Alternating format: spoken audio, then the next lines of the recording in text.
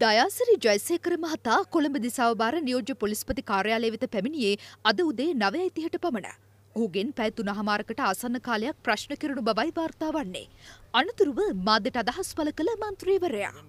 මීට වඩා විශාල භීෂණයක් විශාල අර්බුදයක් වෙන්න තිබිච්ච අවස්ථාවක් මම බේරගත්. ඒ නිසා මේ කලාකාරී සිද්ධිය සමනය කරන්න මම මැදිහත් වුණා මිසක කිතරම් විසින්න පිරිස් අරගෙන ගිහිල්ලා බලාත්කාරයෙන් නිදහස් කරගන්න වැඩපිළිවෙලක් නෙමෙයි ඉදිරිය සිද්ධ වුණේ. පොලිසිය ඕන කෙනකින් අහන්න පුළුවන්. පොලිසිය ස්ථානාධිපතිතුමාගේත් ඉල්ලීම අනුව තමයි මේ සියලු දෙනාම අරන් ගිහලා මම බිංගිරිය පොලිසියට බාර දුන්නේ. ඒ නිසා මේ අන්තවාදී සහ ජාතිවාදී විදියට හිතලා කරන ප්‍රකාශ වලින් මම කියනවා කරුණා කරලා වැළකෙන්න කියලා. නිවැරදි தත්ත්වය හොයලා බලන්න හෙට්ටිපොළ පොලිසියේ සියලු දෙනාගෙන් අහලා බලන්න මම මොකද්ද කරේ කියලා. Thank you.